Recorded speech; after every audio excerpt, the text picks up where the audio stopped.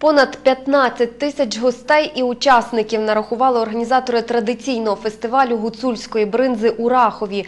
До найвищого міста в Україні добрались і наші кореспонденти, щоб не лише скуштувати банушу з бринзою, а й збагатитись чудовими враженнями. З Рахова Галина Філіпова.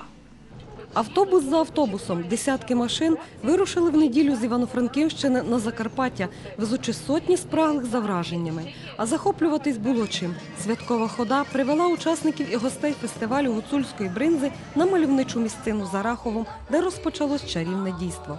Вже в 11 відбувається в Рахові фестиваль закарпатської бринзи. Не злічити гостей, які прибули на свято. Бринза, вурда, сир – все це смакують з великим задоволенням численні гості. Не забагато Закарпаттю фестивалів, і частування вистачить усім. У численних казанах булькало і шкварчало, а столи вгиналися від страв. Бринза з медом, кулеша, ріп'яники, пампушки, гомбовці з бринзою, кремзлики. І все це назви страв лише одного села Чорна Тиса.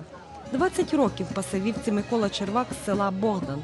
Секретів овечого сиру не видає.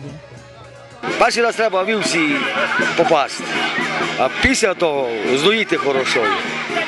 Молоко процідити красиво, заклігати і зробиться все.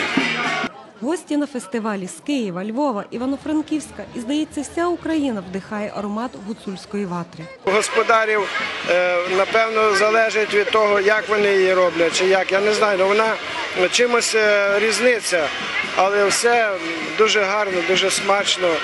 Я, чесно кажучи, закликав би всіх бажаючих приїздити сюди, бо тут е, якесь є родинне тепло.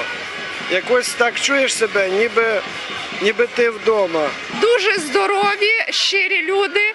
Е, Вишиванка і бринза то такий символ цього фестивалю. Я думаю, що всі гості, коли звідси приїдуть, обов'язково повернуться. Тому що тут Україна, тут здоров'я, тут гори, тут близько до неба, до Бога і до себе. Вперше на фестивалі попробувала вурту. Це наскільки смачно, просто не передати словами. Бограч, вареники, бануш, бринза, вурда, буц – основні страви свята, а ще музики, сувеніри і гроші, які без жалю гості фестивалю залишили на Закарпатті, а могли б і до нас приїхати на карпатський чи прикарпатський вернісаж, який вже встигли полюбити. Але це вже інша історія, не така весела.